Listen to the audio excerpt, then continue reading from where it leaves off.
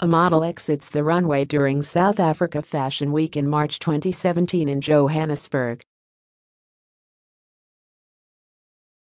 Miora Rajaonary, by Olivier Laurent. Olivier Laurent photo editor focusing on France, Africa, Middle East and Asia. Email bio follow January 7 Voices of African Photography is a 10-part series presented in partnership with the African Photojournalism Database, a joint project of Everyday Africa and World Press Photo to highlight the work of 10 African photographers and photojournalists Miora Rajaonary was a late bloomer in photography. I grew up in a country where creativity is not valued and the pursuit of artistic careers is not encouraged in the sense that there is no school, funds or educational resources to do so, said the Madagascar-born photographer. That meant that she learned about the technical basics of photography at 29, just six years ago, when she moved to South Africa.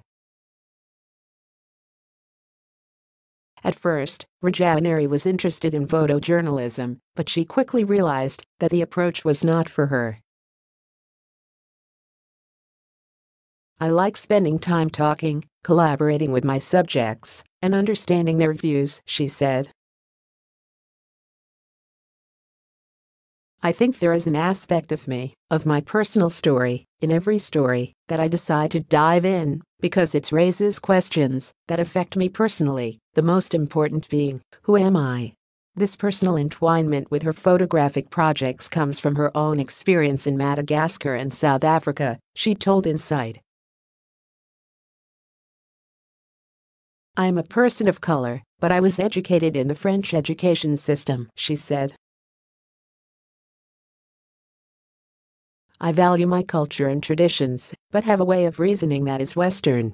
I identify myself as a black person, but for some people, my skin is too light, my hair too curly, my partner is white, our child is mixed race, and we are foreigners in the country we live in. All of these experiences have led Rajaonary to question who she is, as she said, but also where she stands. There is a permanent internal conflict in my head and heart that I am trying to solve. When I start working on a particular subject, it's because I think it will help me understand who I am better somehow. Helene Rahilirisua, a Betsileo woman from the highland village of Sandrandahy in Madagascar, poses in one of her lamba, a traditional outfit. Miora Rajaonary, Hanta, a Sakalava woman, in her lamba garment in Antanimilandi, Madagascar. Miora Rajaonary, Lisette, a Sakalava woman, in her traditional lamba outfit in Antanimilandi, Madagascar. Miora Rajaonary, that's what our series Lamba is about using the traditional garments of her native country, Madagascar, and inspired by the African tradition of portraiture, the work is an attempt for Rajaonary to go back to her roots, exploring and reconnecting with my culture and my people, she said. It's also a way to shed a new light on Madagascar, because people hear a lot about the wildlife, the landscapes, but the unique culture of the country remains unknown or misunderstood.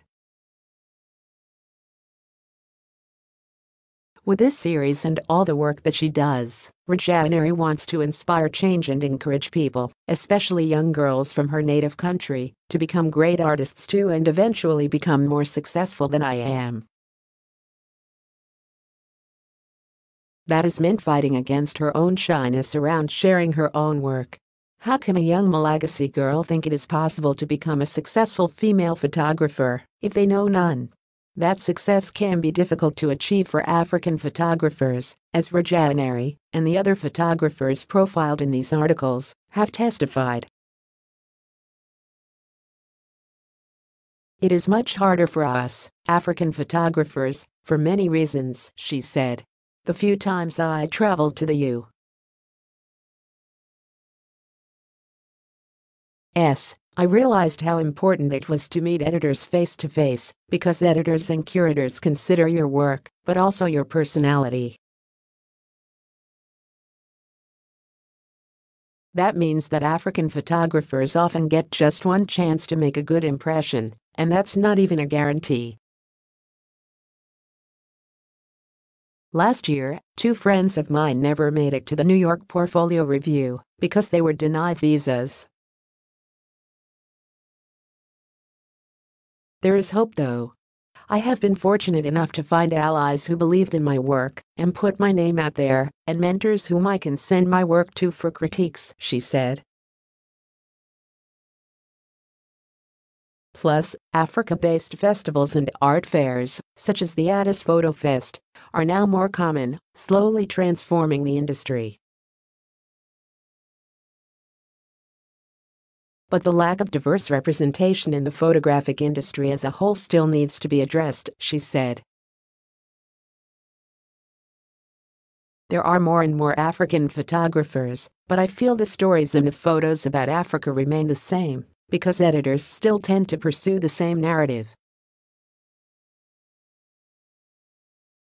I wish I could see a more nuanced perspective on Africa, other than the one highlighting war, disease, and poverty because Africa is definitely more than that.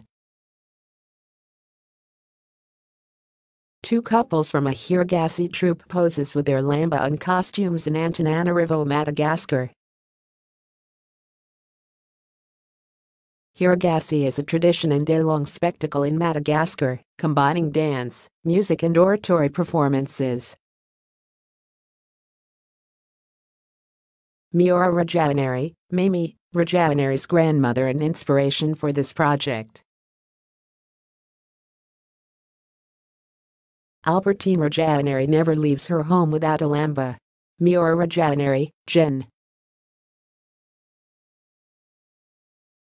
Desire Ramacavello and his wife, Genevieve, pose with their lamba in Antananarivo, Madagascar. They are two of the few members of Antananarivo's high society who still wear lamba on a daily basis and on important occasions. Miora Rajaonary, Inside is the Washington Post's photography blog for visual narrative. This platform showcases compelling and diverse imagery from staff and freelance photographers, news agencies and archives. If you are interested in submitting a story to Insight, please complete this form